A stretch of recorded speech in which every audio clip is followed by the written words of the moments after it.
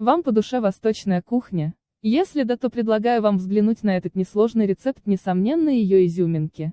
Небольшой набор ингредиентов, достаточно простой процесс и восхитительный результат. Если у вас нет казана, а именно в нем традиционно делают это блюдо, возьмите кастрюлю с толстым дном. Я расскажу, как приготовить плов узбекский в домашних условиях, и у вас наверняка получится воспроизвести рецепт с первого раза. Запеченный чеснок отлично подходит для подачи, но при желании вы можете добавить его в процессе сразу в плов. 1. Чеснок вымойте, обсушите и срежьте основание.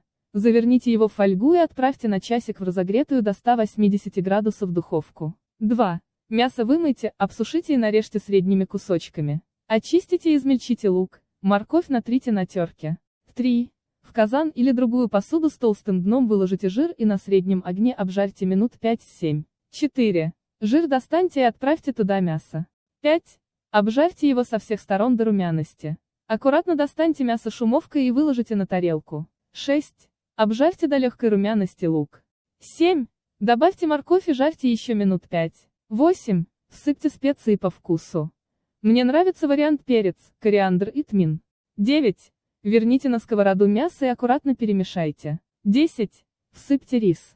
11. Аккуратно влейте 4 стакана горячей воды или бульона, предварительно растворив в ней соль. Накройте крышкой, убавьте огонь до минимума. Томите до готовности. 12. Снимите плов с огня и оставьте под крышкой еще на полчасика. Перед подачей добавьте запеченный чеснок. Приятного аппетита!